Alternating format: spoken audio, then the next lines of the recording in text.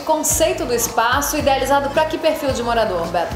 A proposta é um homem por volta de uns 40 anos que tem um gosto apurado para o design, para obras de arte, ele gosta de cozinhar ele tem uma pegada sustentável também, vai de bike para o trabalho, tem até uma bike no ambiente por causa disso.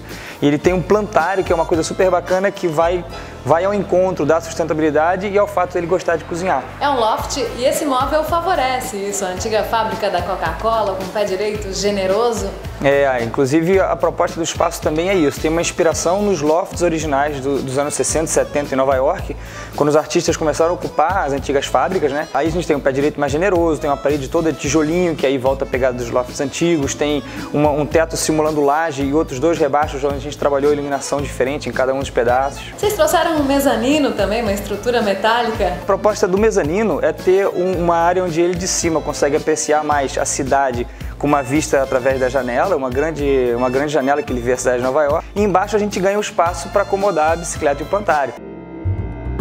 Do mezanino se observa a vista de Nova York. Fala um pouco desse recurso, Beto. É, do mezanino ele tem uma vista privilegiada da cidade através da janela, que aliás é uma esquadria da VECA, que tá, é super bem acabada. A VECA é uma empresa que gostei muito de trabalhar com eles, eles têm uma equipe super boa.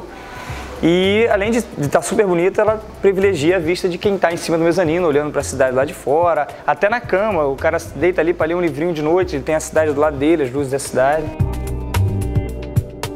Proposta de marcenaria nesse loft, Marila? É uma marcenaria mais solta, você não tem aquela cara de móvel sob medida, tem uma coisa mais descolada, mais escura também, né, dentro da proposta conceitual do projeto. Preto na cozinha é uma proposta bem ousada. Sim, é justamente porque a cozinha ela está dentro do, da casa, né? Então ela tem uma característica de ser um elemento mais social, não tem aquela cara de cozinha, uma cara mais de estar. Poucos armários fechados, muitas pranchas. É, uma marcenaria limpa, né? O projeto é todo limpo, bem sequinho, com a geladeira embutida no própria marcenaria, então você não tem os eletros é, como eletros domésticos, né? A gente tem a, a linha do Karim Rashid, que é uma coisa também mais design, mais conceitual.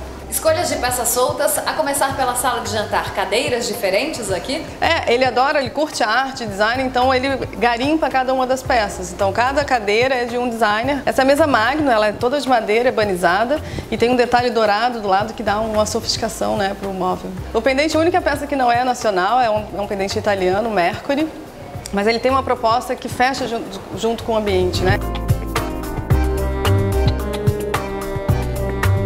O Star é bem descolado, a gente também trabalha com design nacional, tem a, a poltrona Shell, que é a ideia que se, se, ele se jogue, leia um livro, tem uma lareira né, para dar um aconchego, e tem um sofá bem longo que ele possa receber os amigos, curtir um filme. O que mostra de decoração representa no portfólio de vocês, Marila? É um momento da gente poder propor assim, o que, que a gente, nossa linha de trabalho, né? E, e mostrar como a gente pode estar trabalhando espaços de formas diferentes, tanto um loft quanto um banheiro, uma sala.